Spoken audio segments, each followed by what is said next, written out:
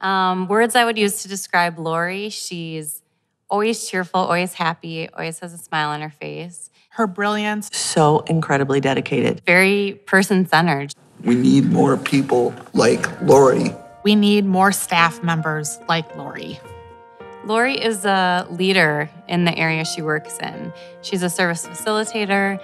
Um, the other staff come to her with questions. She's been our longest standing staff in that program at this point. So her opinions, her knowledge is invaluable to all of us.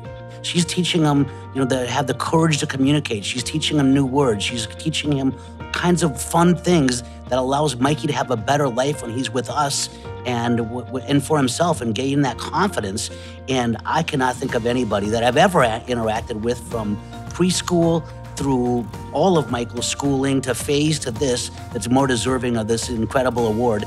Lori stands out, and she stands out because she's taken self advocacy to a new level. We've, it's always been important to LifeWorks. Self advocacy means speaking up for yourself so that they're heard and their wants and needs um, are acknowledged. And that's what Lori does for the people she works with.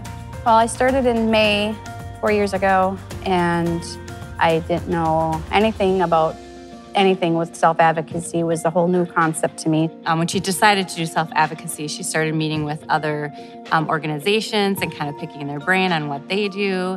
What's different about Lori is that she'll um, take that idea and she runs with it. Now they go to the Capitol during the legislative session. She goes every single week, no fail. So many of our folks don't have a voice, um, literally and figuratively.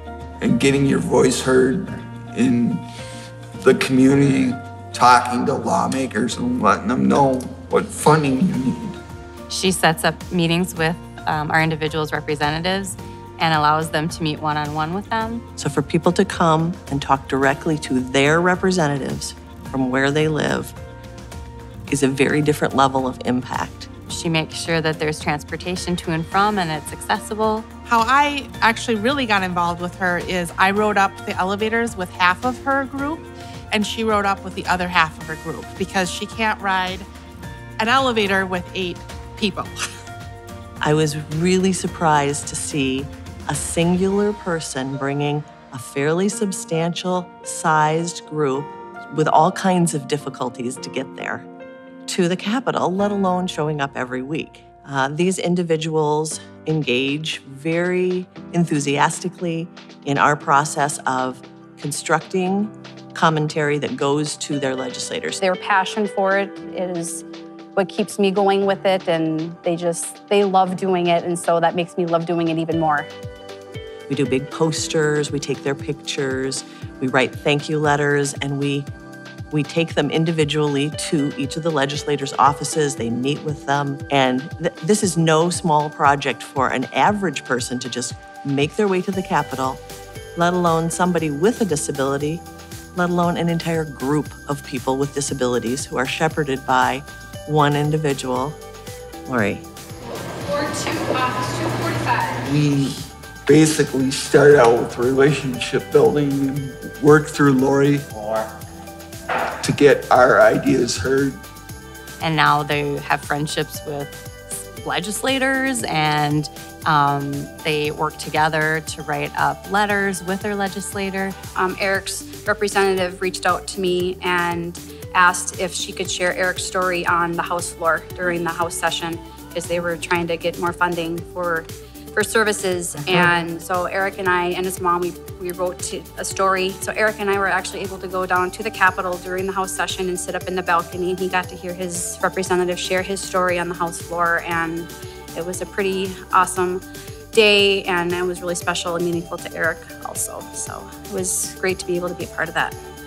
So they've created these relationships, um, which also has fostered a lot of um, confidence and a lot of change that happens. And these issues are coming arise because of her bringing the group down. These guys know their story and they tell it the best. And it, I think it's more meaningful when it comes when they're speaking on their own behalf. I would say five years ago, people had no idea who these people were. All the legislators don't. who this group is and who Lori is. Got it. Very nice. Perfect. Thank you so much. Thank so fun. Come again. She is so consistently excellent at her job, bringing people to the Capitol and taking them to advocate to their legislators. All of her work in self advocacy, it's so important to the people that she works with. They've been somewhat invisible most of their lives, and that they are heard, they are respected, they are important. They're important to all of us. And that's the best part of it. We're so grateful from all of our family and from us, and especially from Mikey. Thank you for doing what you do so incredibly well.